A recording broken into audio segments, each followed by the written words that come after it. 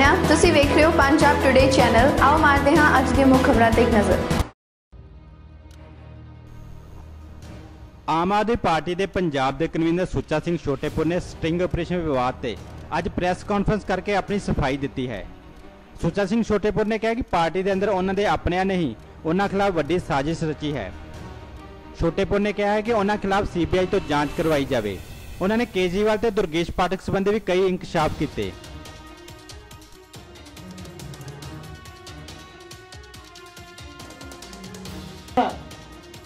ਸਿੰਘ ਦੀ ਗੱਲ ਕਰਦੇ ਆ, ਮੈਂ ਉਹਨਾਂ ਨੂੰ ਪੁੱਛਣਾ ਚਾਹੁੰਦਾ ਹਾਂ ਕਿ ਇਹ ਜਨਤਕ ਕੀਤਾ ਜਾਏ। ਜੇ ਮੈਂ ਲੋਕਾਂ ਨਾਲ ਠੱਗੀ ਮਾਰੀ ਹੈ, ਕਿਸੇ ਨੂੰ ਕੋਈ ਲਾਲਚ ਦਿੱਤਾ ਤਾਂ ਮੇਰੀ ਸੀਬੀਆਈ ਕੋਲ ਇਨਕੁਆਇਰੀ ਕਰਾਈ ਜਾਏ।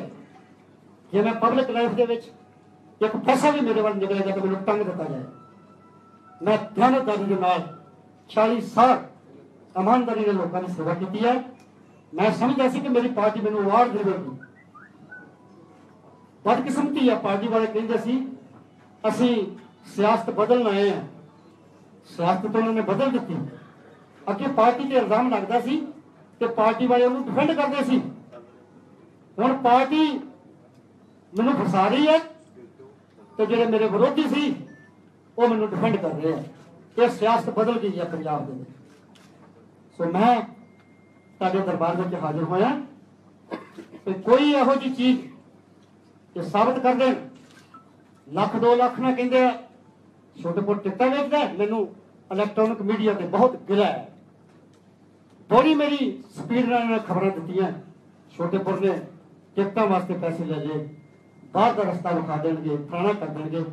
ਵੀਰੋ, ਕਿਸੇ ਦੀ ਇਮੇਜ ਬਣਦੀ ਬਹੁਤ ਔਖੀ ਹੈ।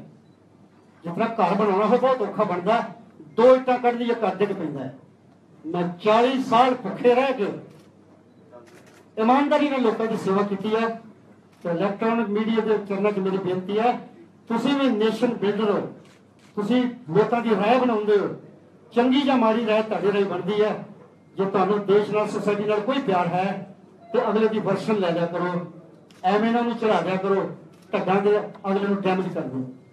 ਸੋ ਇਹਨਾਂ ਨੇ ਬਹੁਤ ਗੱਲਾਂ ਕੀਤੀਆਂ ਨੇ। ਮੈਂ ਬੇਨਤੀ ਕਰਨੀ ਚਾਹੁੰਦਾ ਇਹ ਸਾਰੀਆਂ ਗੱਲਾਂ ਦੇ ਪਿੱਛੇ ਇੱਕ ਬੜੀ ਵੱਡੀ ਸਾਜ਼ਿਸ਼ ਮੇਰੇ ਆਪਣੇ ਮਿੱਤਰਾਂ ਨੇ ਰਚੀ ਹੈ। ਜਿਨ੍ਹਾਂ ਨੇ ਅੱਜ ਮੈਨੂੰ ਇੱਥੇ ਆਉਣ ਵਾਸਤੇ ਮਜਬੂਰ ਕੀਤਾ ਲੰਬੀ ਕਹਾਣੀ ਹੈ। ਮੈਂ ਅਕਤੂਬਰ 2015 ਦੇ ਵਿੱਚ ਇੱਕ ਮੀਟਿੰਗ ਕੀਤੀ ਸੀ, ਜਿਹਦੇ ਵਿੱਚ ਮੇਰੀ ਪਾਰਟੀ ਦੇ ਜ਼ੋਨ ਇੰਚਾਰਜ ਸੀ, ਦਿੱਲੀ ਤੋਂ ਆਏ ਅਬਜ਼ਰਵਰ ਸੀ ਸੈਕਟਰ ਇੰਚਾਰਜ ਸੀ, ਸਾਰੀ ਪਾਰਟੀ ਦੇ ਵਿੰਗਾਂ ਦੇ ਪ੍ਰਧਾਨ ਸੀ, ਸਾਰੇ ਸਾਡੇ ਐਮਪੀ ਸਭਾਨ ਸੀ, ਸੰਜੇ ਸਿੰਘ ਜੀ ਦੁਰਗੇਸ਼ ਸਿੰਘ ਸਾਰੇ ਸੀ। ਔਰ ਉੱਥੇ ਮੈਂ ਇੱਕ ਗੱਲ ਕਹੀ ਸੀ ਤੇ ਵੀਰੋ, ਪੰਜਾਬ ਦੇ ਲੋਕ ਜਿਹੜੇ ਹਨ, ਇਹ ਆਪਣਾ ਗੋਲ ਅਚੀਵ ਕਰਨ ਵਾਸਤੇ ਜਿੱਥੇ ਇਹਨਾਂ ਦਾ ਬਣ ਬਣ ਜਾਵੇ, ਇਹ ਆਪਣਾ ਮਕਸਦ ਹੱਲ ਕਰਨ ਵਾਸਤੇ ਤੁਹਾਨੂੰ ਸ਼ਾਪਿੰਗ ਵੀ ਕਰਾਉਣਗੇ, ਪੈਸੇ ਵੀ ਦੇਣਗੇ, ਤੁਹਾਡੀਆਂ ਲੋੜਾਂ ਵੀ ਪੂਰੀਆਂ ਕਰਨਗੇ। ਪਰ ਪੰਜਾਬ ਦੇ ਲੋਕਾਂ ਦਾ ਸੁਭਾਅ ਹੈ, ਜੇ ਤੁਸੀਂ ਲੋਕਾਂ ਦੀਆਂ ਖਾਸ਼ਾਂ ਤੇ ਪੂਰੇ ਨਾ ਉਤਰ ਸਕੇ, ਜੇ ਤੁਸੀਂ ਜਿਸ ਕੰਮ ਲਈ ਉਹਨਾਂ ਨੇ ਤੁਹਾਡੀ ਸੇਵਾ ਕੀਤੀ ਹੈ, ਉਹ ਤੁਸੀਂ ਫੁੱਲਫਿਲ ਨਾ ਕੀਤੀ, ਇਹਨਾਂ ਨੇ ਕੋਠੇ ਤੇ ਚੜ ਕੇ ਫਿਰ ਬਦਨਾਮੀ ਕਰਨੀ ਵੀ ਸ਼ੁਰੂ ਕਰ ਦਿੰਦੇ ਆ ਔਰ ਉੱਥੇ ਇੱਕ ਬੰਦੇ ਨੇ ਇਹ ਵੀ ਕਿਹਾ ਸੀ ਅੰਮ੍ਰਿਤਸਰ ਦੇ ਵਿੱਚ ਕਿਸੇ ਵਲੰਟੀਅਰ ਨੇ ਕਿਹਾ ਕਿ ਆਬਜ਼ਰਵਰ ਕਹਿੰਦੇ ਆ 75% ਸੀਟਾਂ ਤਾਂ ਵਿਕਣੀਆਂ ਨੇ। ਜਦੋਂ ਇਹ ਗੱਲ ਦਰਗੇਸ਼ ਉਹਨਾਂ ਨਾਲ ਕੀਤੀ, ਤਾਂ ਉਹ ਇੰਨੇ ਅੱਗ ਬਲੁਕੇ ਹੋਏ ਕਿ ਕਹਿੰਦਾ 12ਵੇਂ ਕੋਈ ਪਾਰਟੀ, ਹਮ ਜਾ ਰਹੇ ਹਾਂ। ਉੱਠ ਕੇ ਚਲੇ ਗਏ। ਮਹੀਨਾ ਕੋਈ ਸਾਡਾ ਆਪਸ ਵਿੱਚ ਤਾਲਮੇਲ ਨਹੀਂ ਹੋਇਆ। ਉਹਦੇ ਤੋਂ ਬਾਅਦ ਅਖਬਾਰਾਂ 'ਚ ਕਈ ਤਰ੍ਹਾਂ ਦੀਆਂ ਉਹਨੇ ਖਬਰਾਂ ਦੇਣੀਆਂ ਸ਼ੁਰੂ ਕਰ ਦਿੱਤੀਆਂ, ਜਿਨ੍ਹਾਂ ਦਾ ਮੈਂ ਜ਼ਿਕਰ ਨਹੀਂ ਕਰਨਾ ਚਾਹੁੰਦਾ, ਕਿਉਂਕਿ ਉਹ ਗੱਲਾਂ ਮੇਰੇ ਨਾਲ ਸੰਬੰਧਿਤ ਹੈ। ਇੱਕ ਮੀਟਿੰਗ ਦਿੱਲੀ ਵਿੱਚ ਹੋਈ ਸੀ। ਦਿੱਲੀ ਵਾਲੀ ਮੀਟਿੰਗ ਦੇ ਵਿੱਚ ਕਿਸੇ ਨੇ ਕਿਹਾ ਕਿ ਪੰਜਾਬ ਦੇ ਵਿੱਚ ਏਕਤਾ ਦੀ ਲੋੜ ਹੈ। ਜੇ ਲੀਡਰਸ਼ਿਪ 'ਚ ਏਕਤਾ ਹੋਈ, ਤੇ ਤਾਂ ਆਪਾਂ ਸਾਰੀ ਲੜਾਈ ਜਿੱਤ ਸਕਦੇ ਹਾਂ। ਤੇ ਮੇਰੇ ਮੂੰਹ ਸੁ- ਸੁੱਟੇ ਸੁੱਟੇ ਨਿਕਲ ਗਿਆ, ਭਈ ਜਿਹੜਾ ਪਾਵਰ ਪਲੇਟਫਾਰਮ ਆ ਜਿਹੜਾ ਪਾਵਰ ਸੈਂਟਰ ਹੈ, ਉਹ ਦਰਗੇਸ਼ ਹੈ। ਇਹਨੇ ਟਿਕਟਾਂ ਵੰਡ ਰਿਹਾ ਇਹੀ ਸਾਰੇ ਬੰਦਿਆਂ ਨੂੰ ਜੁਆਇਨ ਕਰਾ ਰਿਹਾ ਇਹੀ ਸਾਰੇ ਅਹੁਦੇ ਵੰਡ ਰਿਹਾ ਜੇ ਇਹ ਚਾਹੇਗਾ ਤਾਂ ਏਕਤਾ ਹੋ ਸਕਦੀ ਹੈ। ਜੇ ਇਹ ਚਾਹੇਗਾ ਤਾਂ ਨਾ ਚਾਹੇਗਾ ਤਾਂ ਨਹੀਂ ਏਕਤਾ ਹੋ ਸਕਦੀ। ਇਹ ਗੱਲ ਮੈਂ ਮੀਟਿੰਗ 'ਚ ਕਹਿ ਦਿੱਤੀ। ਇਹ ਗੱਲ ਵੀ ਕੁਝ ਬੰਦਿਆਂ ਨੂੰ ਰੜਕਦੀ ਸੀ। ਇਹਦੇ ਤੋਂ ਬਾਅਦ ਕੰਮ ਸ਼ੁਰੂ ਹੋ ਗਿਆ। ਜਿੱਦਣ ਯੂਥ ਵਿੰਗ ਦਾ ਮੈਨੀਫੈਸਟੋ ਰਿਲੀਜ਼ ਹੋਣਾ ਸੀ ਅੰਮ੍ਰਿਤਸਰ ਦੇ ਵਿੱਚ। ਮੈਨੀਫੈਸਟੋ ਰਿਲੀਜ਼ ਹੋਣ ਵੇਲੇ ਸੀਨੀਅਰ ਲੀਡਰਾਂ ਨੂੰ ਹਰਾਸਮੈਂਟ ਹੋਈ ਸਟੇਜ ਤੇ ਕਾਫੀ। ਔਰ ਉਹਦੇ ਬਾਅਦ ਜੋ ਮੈਨੀਫੈਸਟੋ ਰਿਲੀਜ਼ ਕਰਦੇ ਸਮੇਂ ਉੱਥੇ ਹੋਇਆ ਉਹ ਤੁਹਾਨੂੰ ਸਾਰੇ ਪ੍ਰੈਸ ਵਾਲੇ ਵੀਰਾਂ ਨੂੰ ਚੰਗੀ ਤਰ੍ਹਾਂ ਪਤਾ ਹੈ। ਅਸ਼ੀਸ਼ ਖਾਨ ਦੇ ਮੂੰਹੋਂ ਲਫ਼ਜ਼ ਨਿਕਲ ਗਏ। ਕਿ ਇਹ ਜਿਹੜਾ ਦਸਤਾਵੇਜ਼ ਹੈ ਗੁਰੂ ਗ੍ਰੰਥ ਸਾਹਿਬ ਵਰਗਾ ਹੈ।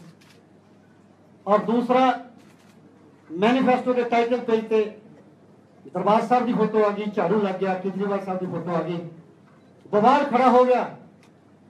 ਮੈਂ ਉਸ ਬਵਾਲ ਨੂੰ ਠੱਲ ਪਾਉਣ ਵਾਸਤੇ ਬਹੁਤ ਅਪੀਲਾਂ ਕੀਤੀਆਂ। ਇੱਕ ਗੈਰ ਸਿੱਖ ਇਨਸਾਨ ਨੂੰ ਪਤਾ ਨਹੀਂ ਸੀ ਦਰਬਾਰ ਸਾਹਿਬ ਦੀ ਪਵਿੱਤਰਤਾ ਦਾ। ਉਹਨੇ ਕੋਈ ਨੋਇੰਗਲੀ ਇਹ ਗੱਲ ਨਹੀਂ ਕੀਤੀ। ਉਹਦੇ ਕੋਲੋਂ ਮੂੰਹੋਂ ਨਿਕਲ ਗਈ ਹੈ। ਉਹਨੂੰ ਮਾਫ ਕਰ ਦੇਣਾ ਚਾਹੀਦਾ ਹੈ। ਮਾਫੀ ਬਹੁਤ ਵੱਡਾ ਸੰਕੇਤ ਹੈ ਸਿੱਖੀ ਵਿੱਚ। ਵੱਡੇ ਵੱਡੇ ਫੈਸਲੇ ਜਿਹੜੇ ਆ ਮਾਫੀ ਤੋਂ ਬਾਅਦ ਸਮਾਪਤ ਹੁੰਦੇ ਰਹੇ ਆ। ਮੈਂ ਬਹੁਤ ਡਿਫੈਂਡ ਕੀਤਾ। ਦੂਸਰਾ ਸੀ ਦਰਬਾਰ ਸਾਹਿਬ ਦੀ ਤਸਵੀਰ ਵਾਲਾ। ਜਦੋਂ ਦਰਬਾਰ ਸਾਹਿਬ ਦੇ ਮਸਲੇ ਤੇ ਅਸੀਂ ਆਪਣਾ ਬੜਾ ਸਪਸ਼ਟੀਕਰਨ ਦਿੱਤਾ। ਤੁਸੀਂ ਵੀਰਾਂ ਨੇ ਮੈਨੂੰ ਪੁੱਛਿਆ ਕਿ ਛੋਟੇਪੁਰ ਜੀ, ਜਿਹੜਾ ਟਾਈਟਲ ਪੇਜ ਬਣਾਇਆ ਗਿਆ ਹੈ, ਇਹ ਤੁਹਾਨੂੰ ਦਿਖਾਇਆ ਨਹੀਂ ਗਿਆ। ਤੁਸੀਂ ਪਾਰਟੀ ਦੇ ਕਨਵੀਨਰ ਹੋ, ਤਾਂ ਮੈਂ ਵੀਰੋ ਸੱਚ ਬੋਲਿਆ, ਕਦੀ ਜ਼ਿੰਦਗੀ 'ਚ ਮੈਂ ਝੂਠ ਨਹੀਂ ਬੋਲਦਾ। ਔਰ ਰਾਜਨੀਤੀ ਮੇਰਾ ਪੇਸ਼ਾ ਨਹੀਂ ਹੈ। ਮੈਂ ਸੇਵਾ ਵਾਸਤੇ ਆਇਆ ਸੀ।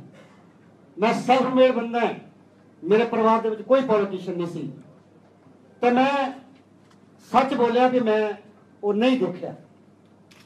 और जिस दिन ਕੇਜਰੀਵਾਲ ਸਾਹਿਬ ਦਰਬਾਰ ਸਾਹਿਬ ਸੇਵਾ ਵਾਸਤੇ ਆਏ ਆ ਮਨੇਰੇ ਅਰਲੀ ਮਾਰਨਿੰਗ ਸ਼ਾਮ ਨੂੰ ਜਦੋਂ ਅਸੀਂ ਉਹਨਾਂ ਨੂੰ ਸੀਐਫ ਕਰਨ ਜਾ ਰਹੇ ਸੀ ਏਅਰਪੋਰਟ ਤੇ ਤਾਂ ਮੈਨੂੰ ਪੁੱਛਦੇ ਛੋਟੇਪੁਰ ਜੀ ये आपने क्या कर दिया?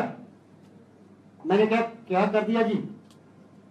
आपने ये बोला कि मेरे को मालूम नहीं है मैं टाइटल पेज नहीं देखा मैंने कहा हाँ सर मैंने ये बोला है प्रेस ने मेरे को पूछा था मैं सच बोला है आपको बोलना चाहिए था मैंने देखा है मैंने कहा जी मैंने कभी झूठ नहीं बोला और इसका इंतजाम पता क्या होता अगर मैं झूठ बोलता तो क्या होता ਮੈਂ ਕਿਹਾ ਜੀ ਤੁਸੀਂ ਤੇ ਨੌਨ ਸਿੱਖ ਹੋ ਤੁਹਾਨੂੰ ਤਾਂ ਕਾਲ ਤਖਤ ਨੇ ਕਦੇ ਨਹੀਂ ਸੱਦਣਾ ਮੈਂ ਸ਼੍ਰੋਮਣੀ ਕਮੇਟੀ ਦਾ 17 ਸਾਲ ਅਨਅਪੋਜ਼ ਮੈਂਬਰ ਹਾਂ ਹੁਣ ਮੈਂ ਪਾਰਟੀ ਦਾ ਕਨਵੀਨਰ ਹਾਂ।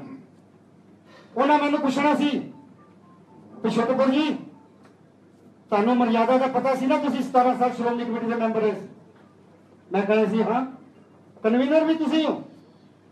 ਇਹ ਪਾਸ ਤੁਸੀਂ ਕੀਤਾ ਹੈ। ਮੈਨੂੰ ਕਹਿਣਾ ਪੈਣਾ ਸੀ, ਹਾਂ, ਤੇ ਇਲਜ਼ਾਮ ਪਤਾ ਕੀ ਹੋਣਾ ਸੀ? ਮੈਂ ਕਿਹਾ, ਇੰਦਰਜੀਤ ਸਿੰਘ ਜੀਰੇ ਨੇ ਅਕਾਲ ਤਖਤ ਦੇ ਜਥੇਦਾਰ ਨੂੰ ਪਹਿਲਾਂ ਹੀ ਐਪਲੀਕੇਸ਼ਨ ਦੇ ਦਿੱਤੀ ਹੋਈ ਸੀ। ਕਿ ਛੋਟੇਪੁਰ ਨੂੰ ਸਿੱਖੀ ਚੋਂ ਖਾਰਜ ਕਰੋ। ਇਹ ਪ੍ਰਧਾਨ ਹੈ। ਤਾਂ ਮੈਨੂੰ ਕਹਿੰਦੇ, ਕਿਆ ਅੰਜਾਮ ਹੋਣਾ ਥਾ? ਮੈਂ ਕਿਹਾ, ਮੈਨੂੰ ਅਕਾਲ ਤਖਤ ਦੇ ਜਥੇਦਾਰ ਨੇ ਸੱਦ ਕੇ ਸਿੱਖੀ ਚੋਂ ਖਾਰਜ ਕਰ ਦੇਣਾ ਸੀ। ਤੇ ਮਾਨਯੋਗ ਕੇਜਰੀਵਾਲ ਸਾਹਿਬ, ਪਤਾ ਕੀ ਕਹਿੰਦੇ ਆ?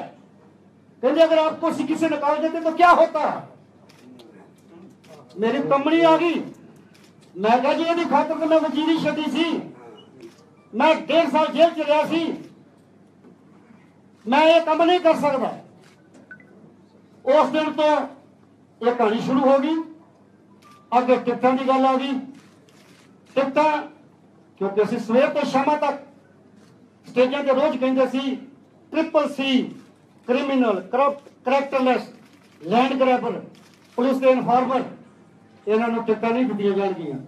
ਟਿਕਟਾਂ ਇਮਾਨਦਾਰ ਬੰਦਿਆਂ ਨੂੰ ਦਿੱਤੀਆਂ ਜਾਣਗੀਆਂ। ਜਾਤਾਂ ਪਾਤਾਂ ਤੋਂ ਉੱਪਰ ਉੱਠ ਕੇ ਦਿੱਤੀਆਂ ਜਾਣਗੀਆਂ। ਗਰੀਬੀ ਅਮੀਰੀ ਤੋਂ ਉੱਪਰ ਉੱਠ ਕੇ ਦਿੱਤੀਆਂ ਜਾਣਗੀਆਂ। ਰਿਸ਼ਤੇਦਾਰਾਂ ਨੂੰ ਟਿਕਟਾਂ ਨਹੀਂ ਦਿੱਤੀਆਂ ਜਾਣਗੀਆਂ। ਜਰਾਨੇ ਨਹੀਂ ਪਾਲੇ ਜਾਣਗੇ। ਇਹ ਗੱਲਾਂ ਕੀਤੀਆਂ ਸੀ। ਪਰ ਜਦੋਂ ਟਿਕਟਾਂ ਵੰਡਣ ਲੱਗੇ, ਤਾਂ ਜਿਸ ਵਲੰਟੀਅਰ ਨੇ ਖੂਨ ਪਸੀਨਾ ਵਹਾਇਆ ਹੋਇਆ ਸੀ ਆਪਣੇ, ਛੋਟੇ ਤੋਂ ਛੋਟੇ ਵਲੰਟੀਅਰ ਨੇ ਕਿਸੇ ਨੇ 10000 ਕਿਸੇ ਨੇ 50000 ਕਿਸੇ ਨੇ ਲੱਖ, ਕਿਸੇ ਨੇ 5 ਲੱਖ, ਕਿਸੇ ਨੇ 10 ਲੱਖ, ਇਸ ਪਾਰਟੀ ਵਾਸਤੇ ਦਿਨ ਰਾਤ ਪੰਜਾਬ 'ਚ ਖਰਚ ਕੀਤਾ ਸੀ। ਜਦੋਂ ਵਲੰਟੀਅਰ ਇਗਨੋਰ ਹੋਇਆ, ਤਾਂ ਮੈਂ ਉਹ ਲਿਸਟਾਂ ਰਿਲੀਜ਼ ਕਰਨ ਤੋਂ ਨਾ ਕਰਨਾ ਇਹ ਕਹਾਣੀ ਸੀ, ਮੇਰੀ, ਕਿਉਂਕਿ ਉਹਨਾਂ ਨੂੰ ਉਹ ਬੰਦਾ ਚਾਹੀਦਾ ਸੀ, ਜਿਹੜਾ ਬੰਦਾ ਉਹਨਾਂ ਦੀ ਬੋਲੀ ਬੋਲਦਾ। ਮੈਂ ਲੋਕਾਂ ਦਾ ਬੰਦਾ, ਮੈਂ ਲੋਕਾਂ ਦੀ ਬੋਲੀ ਬੋਲਦਾ।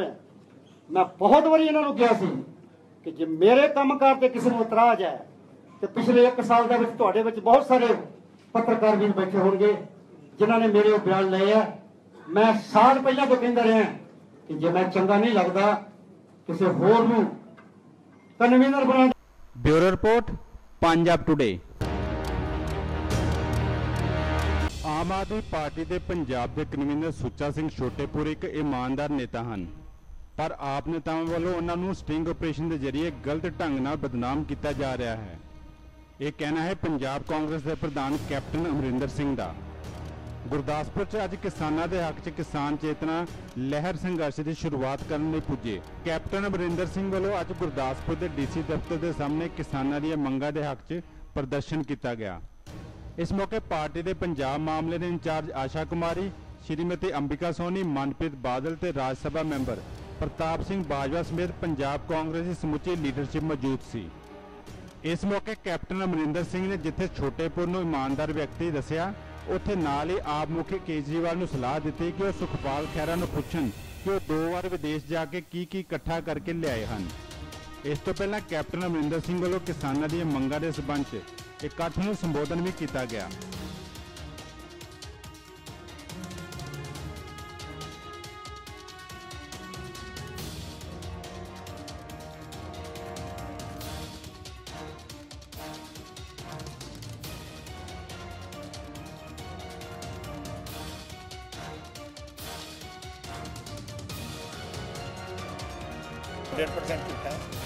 ਪਤਾ ਕਿਸ ਨੇ ਕੀਤਾ? ਪਰ ਦੱਸੂਗਾ ਨਹੀਂ ਮੈਂ ਤੁਹਾਨੂੰ। ਹਾਂ, ਆਪ ਹੀ ਨਿਕਲ। ਕਰਾਇਆ ਉਹਨਾਂ ਨੇ, ਦਿੱਲੀ ਵਾਲਿਆਂ ਨੇ ਕਰਾਇਆ, ਪਰ ਉੱਥੇ ਰੱਖਿਆ ਕੀ ਨੇ, ਉਹ ਪਤਾ ਹੈ ਮੈਨੂੰ ਅਫਸੋਸ ਇੱਕ ਗੱਲ ਦਾ ਹੈ ਕਿ ਇਹ ਜਿਹੜਾ ਸੁਖਪਾਲ ਖਹਿਰਾ ਹੈ, ਇਹ ਇਸ ਤੇ ਛੋਟੇ ਛੋਟੇ 2 ਲੱਖ ਤੇ ਇਹਨਾਂ ਨੇ ਛਾਪਾ ਮਾਰਿਆ।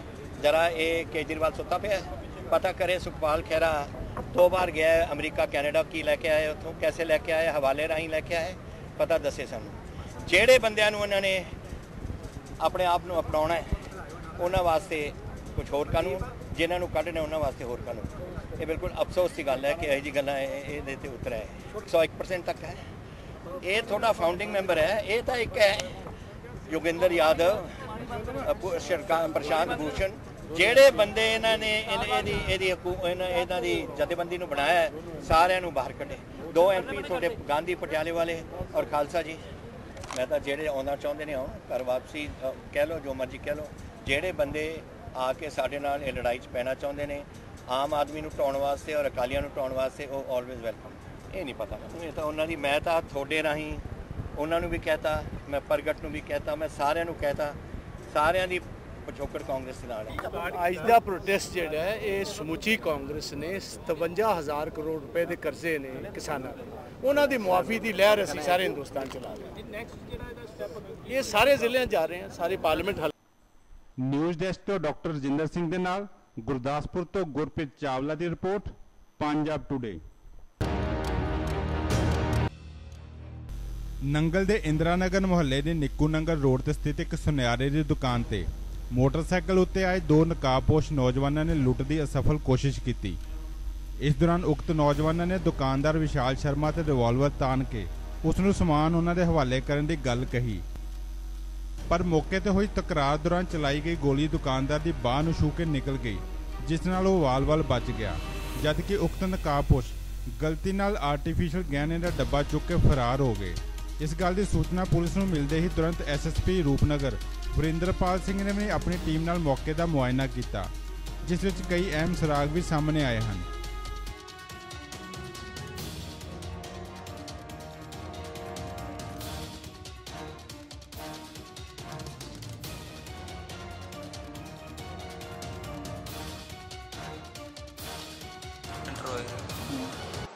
ਤੇ ਨੇ ਕੱਪੜੇ ਬੰਨੇ ਤੇ ਮੂੰਹ ਤੇ? ਅੱਛਾ। ਤੇ ਇੱਕ ਸਰਦਾਰ था ਇੱਕ ਮਰ ਫਿਰ ਪਹਿਲਾਂ 5 ਸਕਿੰਟ ਪਹਿਲਾਂ ਖੜੇ ਰਹੇ ਮੈਂ ਸ਼ਾਇਦ ਕਸਟਮਰ ਹੋਣਾ ਹੈ ਤਾਂ ਤਾਂ ਫਿਰ ਬਾਅਦ ਚ ਗੱਲ ਕਹਿੰਦੇ ਤੇ ਕੋਈ ਜੋ ਸਮਾਨ ਹੈਗਾ ਤਾਂ ਦੇਤੇ तो फिर अपने उन्होंने गन निकाले कि शूट करता उन्होंने अपने हथ हथ रखे ना उनके ਤਾਂ ਨਿਸ਼ਾਨ ਦਾ ਮਿਲ ਗਿਆ ਚੈਸਟ ਲਾਣ ਤੇ ਚੈਸਟ ਤੇ ਕਿਤੇ ਦੀ ਫਿਰ ਨਾਲ ਮੈਂ ਹਿਲ ਗਿਆ ਥੋੜਾ ਤਾਂ ਫਿਰ ਬਾਂਹ ਤੇ ਵੱਜ ਗਿਆ ਇਹ। ਤਾਂ ਕਸਟਮਰ ਸਮਾਨ ਦਿਖਾ ਰਿਹਾ ਤਾਂ ਥੋੜਾ ਸਮਾਨ ਲੈ ਗਏ ਤੇ ਤਾਂ ਜੋ ਕੁਆਂਟਮ ਦਾ ਸਮਾਨ ਤਾਂ ਇੱਕ ਟ੍ਰੇ ਉਹ ਲੈ ਗਏ ਤੇ ਤੇ ਨਾਲ ਹੀ ਚੱਲ ਗਏ ਦੌੜ। ਗਏ ਰੋਲਾ ਪਾਇਆ ਤਾਂ ਨੰਬਰ ਨੋਟ ਉਹਨਾਂ ਦਾ। ਨੰਬਰ ਸੀਗਾ ਮੋਟਰਸਾਈਕਲ ਤੇ? ਹਾਂ ਹੈ। ਇੱਥੇ ਸਾਈਂ ਜੂਲਰ ਦੀ ਦੁਕਾਨ ਸੀ ਉਹਦੇ ਉੱਤੇ ਸਾਨੂੰ ਇਨਫੋਰਮੇਸ਼ਨ ਮਿਲੀ। ਉਹਦੀ ਦੁਕਾਨ ਤੇ ਦੋ ਮੁੰਡੇ ਮੋਟਰਸਾਈਕਲ ਤੇ ਆਏ। ਤੇ ਮੋਟਰਸਾਈਕਲ ਤੇ ਆ ਕੇ ਉਹਨਾਂ ਨੇ ਅੰਦਰ ਦੁਕਾਨ ਦਾ ਗੇਟ ਖੋਲ੍ਹਿਆ ਉਹਨੂੰ ਕਹਿੰਦੇ ਵੀ ਹੈਗਾ ਜੋ ਰੱਖ ਦੇ ਉਹਦੇ ਉਹਨੇ ਮੁੰਡੇ ਨੇ ਹਿੱਲਿਆ ਨਹੀਂਗਾ ਉਹਨੇ ਉਹਨਾਂ ਦੇ ਦੁਕਾਨ ਦੇ ਅੰਦਰ ਫਾਇਰ ਕਰਿਆ। ਜਿਹੜਾ ਫਾਇਰ ਸੀਗਾ ਉਸ ਖੋਲ ਤੇ ਸਾਨੂੰ ਮਿਲ ਗਿਆ। ਮੁੰਡੇ ਦੀ ਥੋੜੀ ਜਿਹੀ ਬਾਂਹ ਤੇ ਇੰਜਰੀ ਆਈ ਆ। ਉਹਦਾ ਜਿਹੜਾ ਨਕਲੀ ਡੱਬਾ ਸੀਗਾ ਸੋਨੇ ਦਾ, ਜਾਂ ਉਹਦੇ ਪਏ ਸੀ ਜਿਹੜੇ ਆਰਟੀਫੀਸ਼ੀਅਲ ਉਹ ਡੱਬਾ ਚੱਕ ਕੇ ਲੈ ਗਏ। ਬਾਕੀ ਅਸੀਂ ਮੌਕੇ ਤੇ ਸਾਰੀ ਜਾਂਚ ਪੜਤਾਲ ਕਰ ਰਹੇ ਹਾਂ ਡਿਟੇਲ ਸਾਨੂੰ ਬਾਕੀ ਦੱਸ ਸੀਸੀਟੀਵੀ ਕੈਮਰਾ ਸਾਨੂੰ ਉਸ ਮਿਲਿਆ ਵਾ ਉੱਥੋਂ ਉਹਨਾਂ ਦੀ। ਫੇਸ ਕਵਰ ਦੀਆਂ ਪਿਕਚਰ ਸਾਨੂੰ ਮਿਲੀਆਂ ਨੇ, ਜਿਹਨੂੰ ਅਸੀਂ ਅੱਗੇ ਡਿਵੈਲਪ ਕਰਾ ਕੇ। ਸ਼੍ਰੀ ਅਨੰਦਪੁਰ ਸਾਹਿਬ ਤੋਂ ਬਿਮਲ ਕੁਮਾਰ ਦੀ ਰਿਪੋਰਟ, ਪੰਜਾਬ ਟੁਡੇ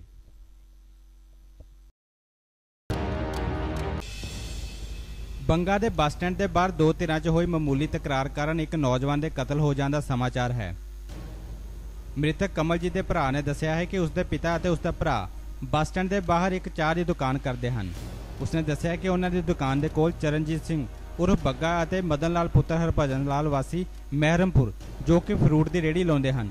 ਬੀਤੀ ਰਾਤ ਸ਼ਰਾਬ ਪੀਣ ਲਈ ਉਹਨਾਂ ਦੀ ਦੁਕਾਨ ਤੇ ਆਏ ਅਤੇ ਉਹਨਾਂ ਦੇ ਪਿਤਾ ਤੋਂ ਖਾਲੀ ਗਲਾਸੀਆਂ ਦੀ ਮੰਗ ਕਰਨ ਲੱਗੇ। ਉਸ ਦੇ ਪਿਤਾ ਨੇ ਉਹਨਾਂ ਨੂੰ ਸ਼ਰਾਬ ਪੀਣ ਦੀਆਂ ਗਲਾਸੀਆਂ ਤੋਂ ਮਨਾ ਕਰ ਦਿੱਤਾ, ਜਿਸ ਤੋਂ ਬਾਅਦ ਦੋਵਾਂ ਧਿਰਾਂ ਦਰਮਿਆਨ ਝਗੜਾ ਹੋ ਗਿਆ। ਦੋਵਾਂ ਧਿਰਾਂ ਦਰਮਿਆਨ ਹੋਏ ਝਗੜੇ ਦੌਰਾਨ ਦੂਸਰੀ ਧਿਰ ਵੱਲੋਂ ਕਮਲਜੀਤ ਉੱਪਰ ਤੇਜ਼ ਧਾਰ ਹਥਿਆਰਾਂ ਨਾਲ ਹਮਲਾ ਕਰ ਦਿੱਤਾ ਗਿਆ, ਜਿਸ ਤੋਂ ਬਾਅਦ ਉਹ ਗੰਭੀਰ ਰੂਪ ਵਿੱਚ ਜ਼ਖਮੀ ਹੋ ਗਿਆ। ਜ਼ਖਮੀ ਹਾਲਤ ਵਿੱਚ ਉਸ ਨੂੰ ਲੁਧਿਆਣਾ ਦੇ ਹਸਪਤਾਲ ਵਿੱਚ ਲਿਜਾਇਆ ਗਿਆ, ਜਿੱਥੇ ਉਸ ਦੀ ਮੌਤ ਹੋ ਗਈ। ਬੰਗਾ ਪੁਲਿਸ ਨੇ ਚਾਰ ਵਿਅਕਤੀਆਂ ਖਿਲਾਫ ਵੱਖ-ਵੱਖ ਧਾਰਾਵਾਂ ਤਹਿਤ ਮਾਮਲਾ ਦਰਜ ਕਰ ਲਿਆ ਹੈ।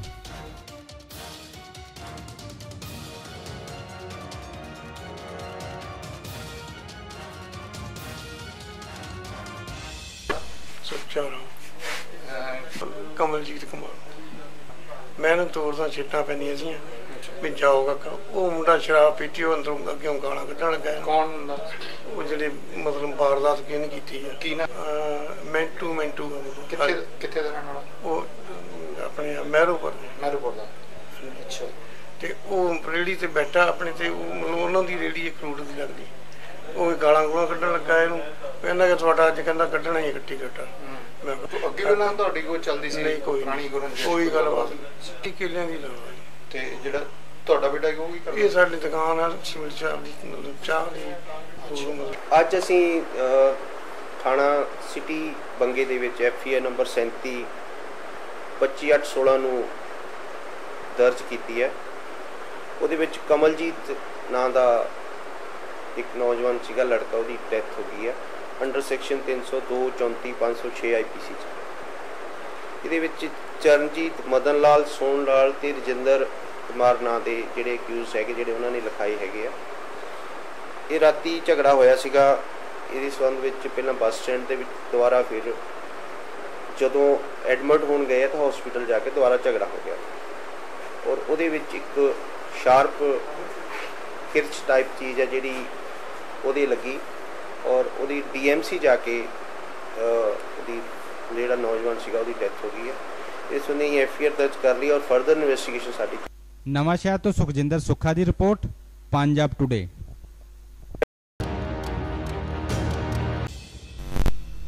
ਨਵਵਿਆਹ ਵਿਅਕਤੀ ਤੇ ਪੰਜ ਲੜਕੀਆਂ ਦੀ ਮਾਂ ਵਿਚਕਾਰ ਚੱਲ ਰਹੇ ਪ੍ਰੇਮ ਸੰਬੰਧਾਂ ਦਾ ਬੀਤੇ ਦਿਨੀ ਉਸ ਸਮੇਂ ਅੰਤ ਹੋ ਗਿਆ ਜਦੋਂ ਦੋਵਾਂ ਨੇ ਸਲਫਾਸ ਖਾ ਕੇ ਆਤਮ ਹੱਤਿਆ ਕਰ ਲਈ। ਜਾਣਕਾਰੀ ਮੁਤਾਬਕ ਪਿੰਡ ਭੋਆ ਦੇ ਵਿਨੇ ਸ਼ਰਮਾ ਦੇ ਸੋਨੀਆ ਨਾਮ ਦੀ ਔਰਤ ਨਾਲ ਸਬੰਧ ਸਨ, ਜੋ ਕਿ ਪੰਜ ਲੜਕੀਆਂ ਦੀ ਮਾਂ ਸੀ।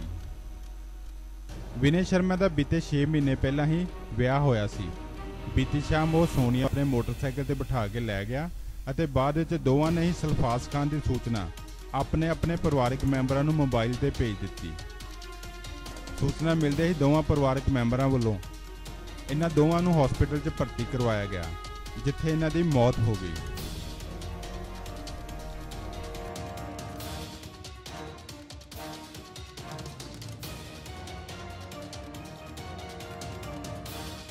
ਬ੍ਰਦਰ ਹੈਗੇ ਚਾਚਾ ਜੀ ਦਾ ਲੱਗਾ। ਅਜੇ ਫੋਨ ਆਇਆ ਮੈਨੂੰ ਇੱਕ ਸਵਾ ਕੁ ਵਜੇ ਦੇ ਕਰੀਬ। ਵੀ ਮੈਂ ਪੁਰਾਣਾ ਸ਼ਹਿਰ ਸ਼ਹਿਰ ਤੋਂ ਆ ਰਿਹਾ, ਤੇ ਮੈਂ ਦਵਾਈ ਖਾ ਲਈ ਹੈ ਤੇ ਮੈਂ ਕਾਨਮਾ ਮਿਲਿਆ ਤੁਹਾਨੂੰ ਕਾਨਮਾ ਥਾਣੇ ਆ ਗਿਆ। ਤੇ ਬਾ ਇਹਨੂੰ ਬਾਅਦ ਦੋ ਤਿੰਨ ਵਾਰੀ ਫੋਨ ਕੀਤਾ। ਬਾਅਦ ਇਹ ਕਹਿੰਦਾ ਮੈਂ ਗੁਰਦਾਸਪੁਰ ਕ੍ਰਾਸ ਕਰ ਗਿਆ ਹੈਗਾ, ਪਰ ਮੇਰੇ ਕੋਲੋਂ ਗੱਲ ਨਹੀਂ ਹੋ ਰਹੀ। ਤੁਹਾਨੂੰ ਪੁੱਜ ਜਾਓ ਜਿੱਥੇ ਉਹ ਲੱਗਦਾ ਆ ਜਾਓ ਤੇ ਉੱਥੇ ਰੋਡ ਤੇ। ਤੇ ਮੈਂ ਆਪਣੀ ਮਾਸੀ ਜੀ ਦੇ ਲੜਕੇ ਦਿਨਾਂ ਤੋਂ ਉਹਨਾਂ ਨੂੰ ਭੇਜਿਆ। ਤੇ ਜੀ ਦੇ ਲਾਗੇ ਉਹਨਾਂ ਨੂੰ ਮਿਲੇ, ਪਰ ਇਹ ਦੋਨੇ ਲੋਟਪੁਰ ਸੀਗੇ।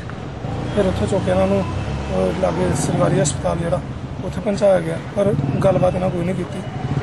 ਉੱਥੋਂ ਫਸਟ ਟ੍ਰੇਸ ਨਾ ਤੋਂ ਬਾਅਦ ਅਸੀਂ ਦੁਬਾਰਾ ਫਿਰ ਹਸਪਤਾਲ ਆਏ। ਅੱਜ ਤਕਰੀਬਨ 3:40 ਦੇ ਉੱਤੇ ਸਾਡੇ ਕੋਲ ਮਰੀਜ਼ ਸੋਨੀਆ ਅਤੇ ਵਿਨੇ ਸ਼ਰਮਾ, ਜੋ ਕਿ ਪਿੰਡ ਭੋਆ ਤੋਂ ਸੀਗੇ ਸੀਐਸਸੀ ਸਿੰਘੋਵਾਲ ਤੋਂ ਸਾਨੂੰ ਰੈਫਰ ਕੀਤੇ ਗਏ, ਜੋ ਕਾਫੀ ਗੰਭੀਰ ਹਾਲਤ ਵਿੱਚ ਸੀਗੇ। ਇਹਨਾਂ ਦੋਵਾਂ ਮਰੀਜ਼ਾਂ ਨੇ ਸਲਫਾਸ ਪੋਇਜ਼ਨ ਖਾਦਾ ਹੋਇਆ ਸੀਗਾ ਅਤੇ ਇਹਨਾਂ ਦੇ ਰਿਸ਼ਤੇਦਾਰਾਂ ਦੇ ਮੁਤਾਬਕ ਇਹਨਾਂ ਦਾ ਕੋਈ ਨਜਾਇਜ਼ ਸੰਬੰਧ ਚੱਲ ਰਿਹਾ ਸੀਗਾ। ਮਾਹਿਰ ਡਾਕਟਰਾਂ ਵੱਲੋਂ ਇਹਨਾਂ ਦਾ ਇਲਾਜ ਚੱਲ ਰਿਹਾ ਸੀਗਾ। ਤਕਰੀਬਨ 4:30 ਵਜੇ ਮਰੀਜ਼ ਸੋਨੀਆ ਦੀ ਮੌਤ ਹੋ ਗਈ ਅਤੇ ਵਿਨੇ ਦੀ ਹਾਲਤ ਨਾਜ਼ੁਕ ਬਣੀ ਰਹੀ। ਸਵਾ ਪੰਜ ਦੇ ਕਰੀਬ ਵਿਨੇ ਦੀ ਵੀ ਮੌਤ ਗੁਰਦਾਸਪੁਰ ਤੋਂ ਗੁਰਪ੍ਰੀਤ ਚਾਵਲਾ ਦੀ ਰਿਪੋਰਟ, ਪੰਜਾਬ ਟੁਡੇ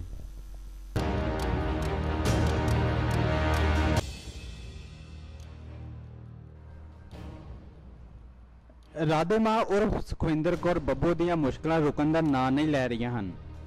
ਮੁੰਬਈ ਤੋਂ ਆਪਣੇ ਸਹੁਰੇ ਘਰ ਆਈ ਰਾਧੇ ਮਾਂ ਨੂੰ ਐਕਟਰਸ ਡੋਲੀ ਬਿੰਦਰਾ ਨੇ ਆ ਕੇ ਰਿਹਾ ਹੈ। ਡੋਲੀ ਬਿੰਦਰਾ ਨੇ ਮੁਕੇਰੀਆਂ ਆ ਕੇ ਰਾਧੇ ਮਾਂ ਖਿਲਾਫ ਪ੍ਰਦਰਸ਼ਨ ਕੀਤਾ। ਉਹਨਾਂ ਜਿੱਥੇ ਰਾਧੇ ਮਾਂ ਦਾ ਪੁਤਲਾ ਫੂਕਿਆ, ਉੱਥੇ ਹੀ ਉਸ ਖਿਲਾਫ ਨਾਅਰੇਬਾਜ਼ੀ ਵੀ ਕੀਤੀ। ਬਿੰਦਰਾ ਦਾ ਕਹਿਣਾ ਹੈ ਕਿ ਸੁਖਵਿੰਦਰ ਕੌਰ ਧਰਮ ਦੀ ਆੜ 'ਚ ਬਹੁਤ ਸਾਰੇ ਕਰਮਕਾਂਡ ਕਰ ਰਹੀ ਹੈ। ਉਹਨਾਂ ਕਿਹਾ ਕਿ ਉਹ ਰਾਧੇ ਮਾਂ ਦੀ ਇਸ ਹਰਕਤ ਦਾ ਵਿਰੋਧ ਕਰਦੇ ਰਹਿਣਗੇ। ਰਾਧੇ ਮਾਂ ਦਾ ਵਿਰੋਧ ਕਰਨ ਸਮੇਂ ਹਿੰਦੁਸਤਾਨ ਸ਼ਿਵ ਸੈਨਾ ਦੇ ਵਰਕਰ ਵੀ ਉਹਨਾਂ ਦੇ ਨਾਲ ਸਨ। ਉਹਨਾਂ ਕਿਹਾ ਕਿ ਮੈਂ ਹੁਸ਼ਿਆਰਪੁਰ 'ਚ ਰਾਧੇ ਮਾਂ ਦੇ ਖਿਲਾਫ ਇੱਕ ਅਦਾਲਤੀ ਅਪੀਲ ਵੀ ਕੀਤੀ ਹੈ। ਉਹਨਾਂ ਦੀ ਸੁਣਵਾਈ ਨਾ ਹੁੰਦਿਆਂ ਦੇਖ ਉਹ ਰਾਧੇ ਮਾਂ ਨੂੰ ਬੇਨਕਾਬ ਕਰਨ ਆਈ ਹੈ। ਡੋਲੀ ਨੇ ਮੰਗ ਕੀਤੀ ਹੈ ਕਿ ਸੁਖਵਿੰਦਰ ਕੌਰ ਦੀ ਈਡੀ ਨੂੰ ਵੀ ਜਾਂਚ ਕਰਨੀ ਚਾਹੀਦੀ ਹੈ।